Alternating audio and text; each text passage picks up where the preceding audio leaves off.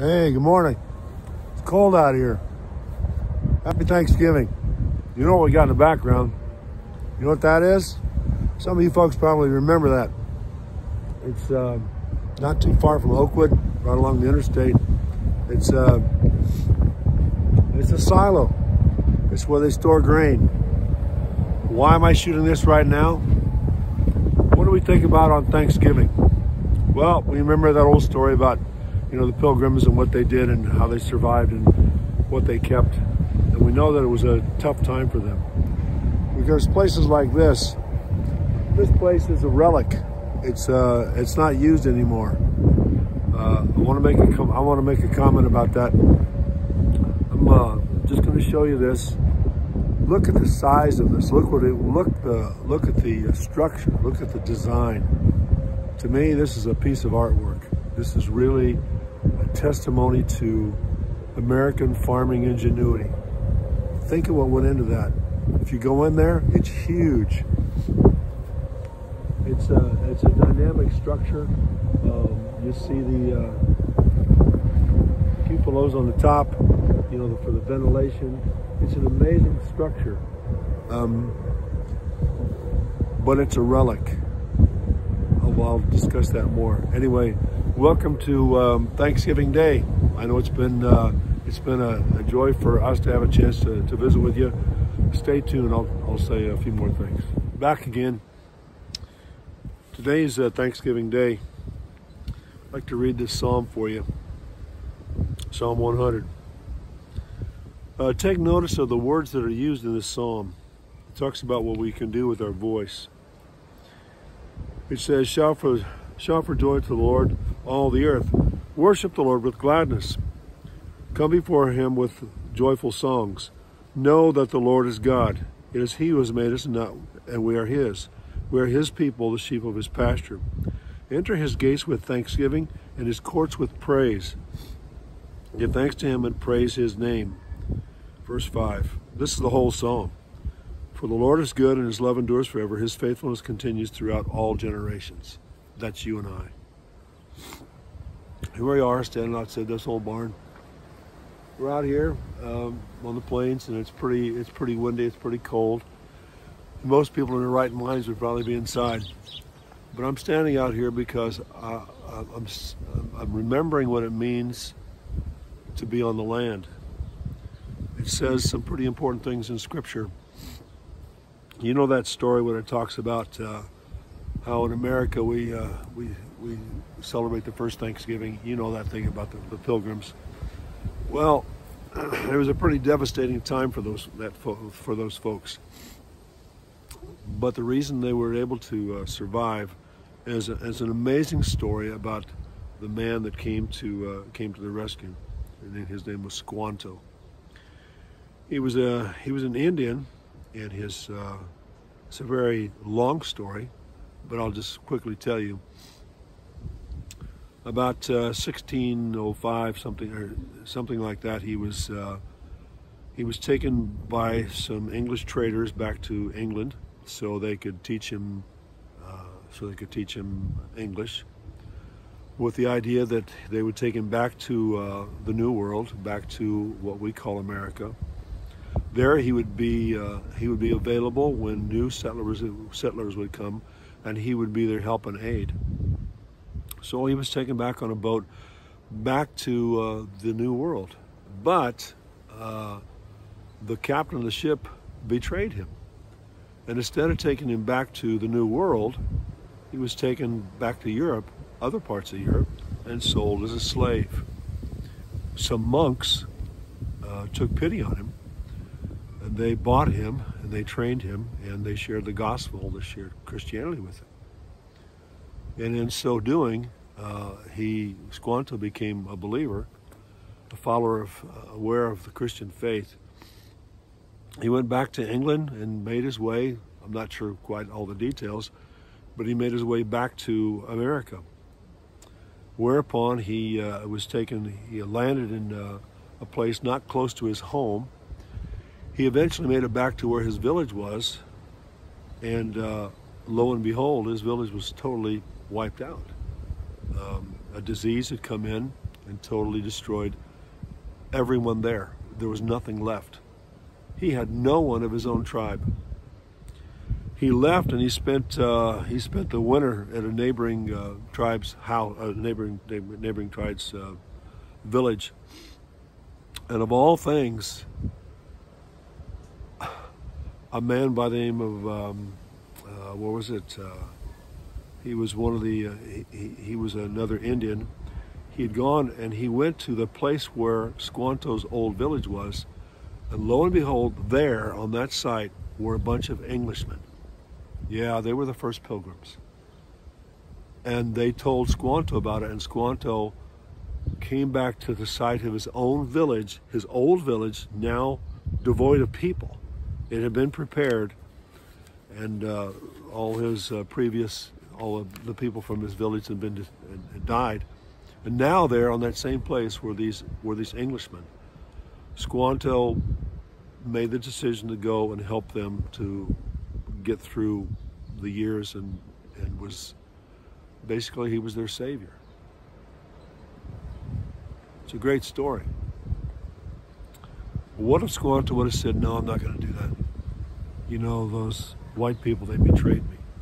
Well, in his uh, awareness of what God does for us, it's really important that he did what Squanto did what he did. And I say that because it's important for you and I to do what we do. Did you notice in this passage? I just read this passage there were how many actions that led to what people had to say shout for joy worship the lord know the lord give thanksgiving have praise have praise to all the generations that's what we're called to do there's another passage that we're reading for today it's very short one verse 2 corinthians chapter 4 verse 13 it said it is written i believe therefore i spoke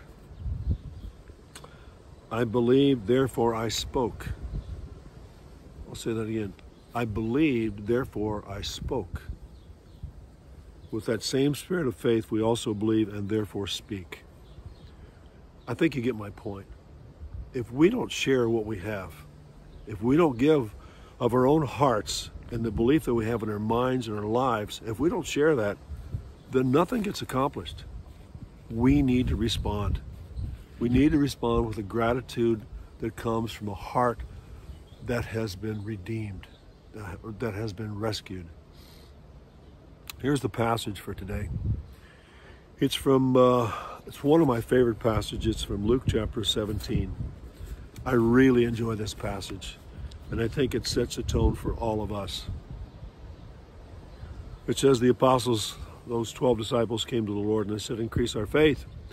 He replied, If you have faith as small as a mustard seed, you can say to this mulberry tree, Be uprooted and it will be planted in the sea, and it will obey you. He said, So you also, when you have done everything you are told to do, should say, We, we are unworthy servants, we, must, we have only done our duty. Here's the parable. Listen carefully. Now, on his way to Jerusalem, Jesus traveled along the border between Samaria and Galilee.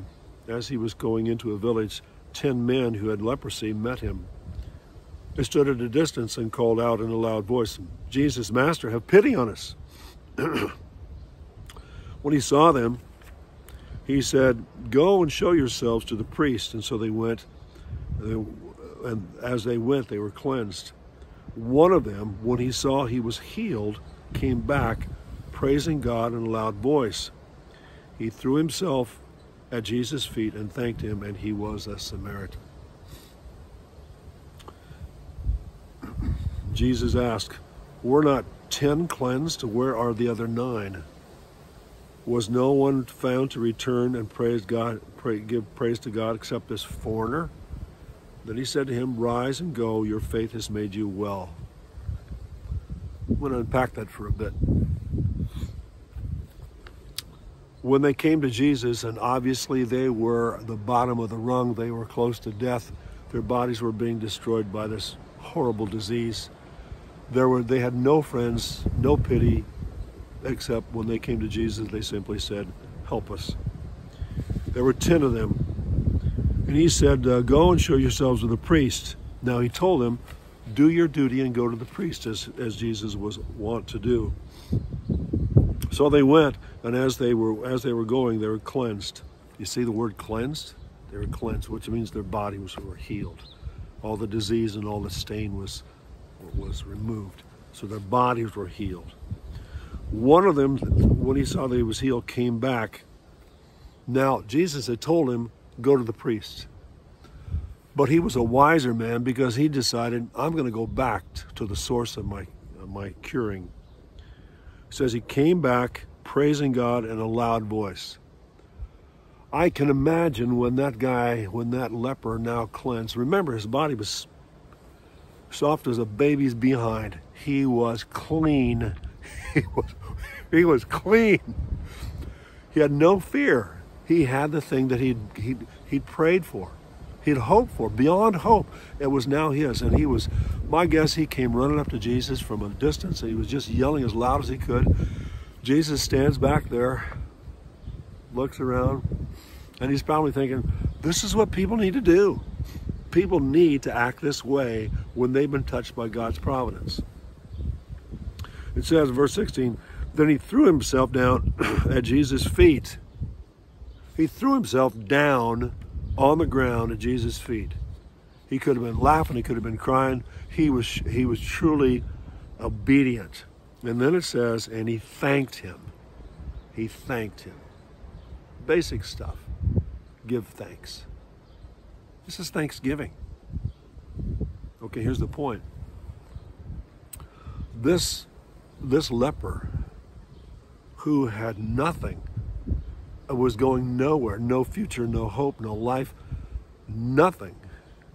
He was given a healthy body and he knew what to do. It says, as they went, they were cleansed, meaning his body was clean. Catch this. As he was going, his body was cleaned. He turned around. he saw he was healed. He. He ran back toward Jesus, praising him with a loud voice. Praising, which we're told to do on this day to praise God.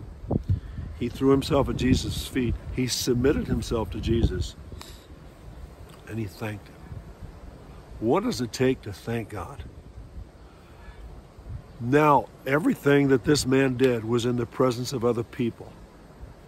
Do you know how strong a witness that is when we thank God in the presence of other people? we can we can crawl over and you know we can, we can sort of hide and not tell anybody. We can do that. What does God want us to do? He wants us to thank people, and when other people hear it, they too are encouraged. Threw himself down Jesus' feet and thanked him, and he was a Samaritan.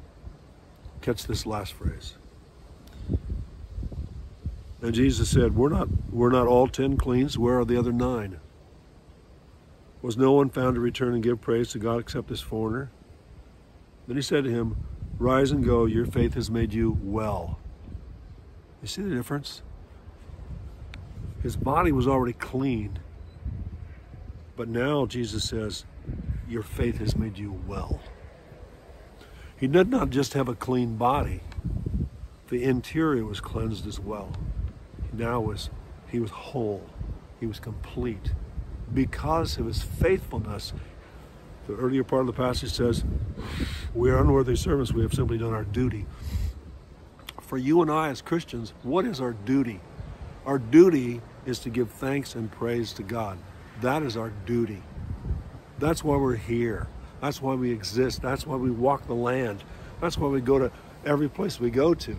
We have opportunities to share and give to others the truth that we know about what God has done for us. It is truly, it is truly crucial that we do this. A couple things I want to, I want to add to this. There was a man named Abraham Kuyper, oh, probably 100, 120 years ago he was a um, he was a teacher. Um, he was a clergyman, and he was also the prime minister of the country of Holland. He said there are two prime things we need to have: The first one is we need to have faith in God. We need to know about our faith. We need to believe it. We need to understand it. We need to work with it. And the second thing is we need to tell others. We need to have it. We need to share it. We need to have it. We need to share it. We have in our church the ladies in our uh, quilting group. They uh, they made a lovely uh, uh quilt for us. It's now hanging in the uh, the entranceway to the sanctuary. It's got the letters T and there's two the two T's, a T and a T. That stands for an interesting phrase. The phrase is truth teller. We need to be tellers of truth. The time is now, the time is today, the time is in this period of our history. The truth needs to be told. Then who is, when it says tell truth, that's a great phrase. There's a verb and there's a noun. The verb is to tell, the noun is truth. What does it mean to tell? Now, it doesn't say no truth, it says tell truth. If we know it, if we have it, we need to say it. It needs to be explicit. It's like Abraham Kuyper said, we need to make sure people hear it. If we don't, if it's not heard from us, from whom will it come? And the more of the us's of there that there are that say that, the more likely it is that people will hear it, believe it, learn it, and follow that. It's really crucial. Truth Truth is the verb. Excuse me. Uh, tell is the verb. Truth is the is the noun. What is truth? Well, you know, we all hear we can hear all those statements about, well, your truth is your truth, but your truth is not necessarily my truth. I have a different truth than you. Um, that flies in the face of what our Christian faith tells us. We believe that as Christians, what Jesus says in John chapter 14 he makes the declaration, he says, I am the way, the truth, and the life. Jesus Christ is the truth. We are called upon to make sure that we talk about him and declare his, his ministry, his life, his death, his resurrection as truth. We are called to be those servants. In the book of James, it's, there's a really cool verse. It says, he who knows what to do and fails to and does not do it, he who knows what to do and does not do it, sins. Whoa, that's pretty severe. If you know what to do but you don't do it, that's a sin.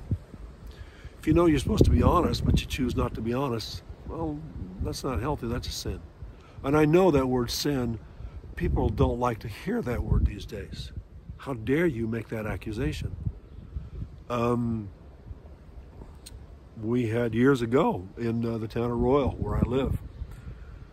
We had a man. He was a he was in his car, and the car stopped on the railroad track. Yeah, many of you that hear this know the story. And the guy was on the railroad track, and he wouldn't get out. So another guy named Marvin, he comes along, and he um, he says, "You better get out of that. You better get out of that car, because if you don't, it's going to be curtains, buddy."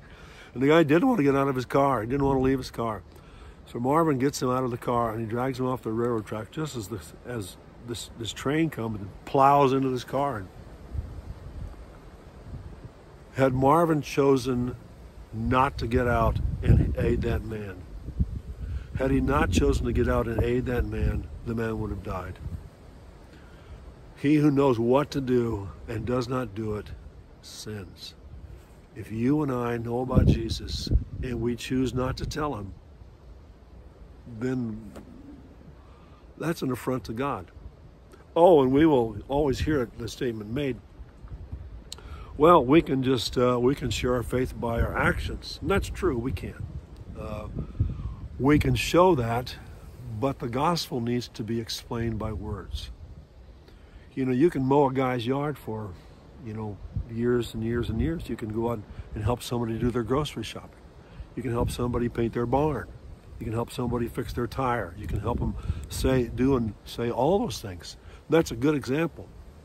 But if the, if the, if the tag is never put there that your faith is born in Jesus Christ, if they never hear about Jesus, how will they ever know that all your good works are tied to your relationship with Christ? It's pretty key. Having said that, um, we are in this season right now, today. This is Thanksgiving. Blessings to you. May your days be filled. Uh, may you echo the sentiments of gratitude because we're given today as a chance to share what we share the grace that we have received. Thanksgiving. Thanks has been given to us. Uh, we have been given those things, and thank with thanks we give that to others. We give thanks to the Heavenly Father. We give thanks to the Lord Jesus for what He's done. We give thanks for all the cultures and all the peoples, all the languages, all the different things on the planet, because all those things come from God Himself. All of them, all those things are gifts from God to us. And this day, may you rejoice with thanksgiving not just the meal that you eat, but with the conversations you have and the prayers that you offer. Blessings to you. Um, may your days be filled with gratitude in your hearts. And may you see things and do things that will cause you to reach out to any and all across every culture, across any language, across any situation. Because everyone everyone needs to know that they're cared for by a loving God. And I believe those of you that are listening, I think you know what I'm saying. Please tell someone in these days and days to come how blessed they are because they live here. Be part of the joy that they can experience. Take care. Blessings to you.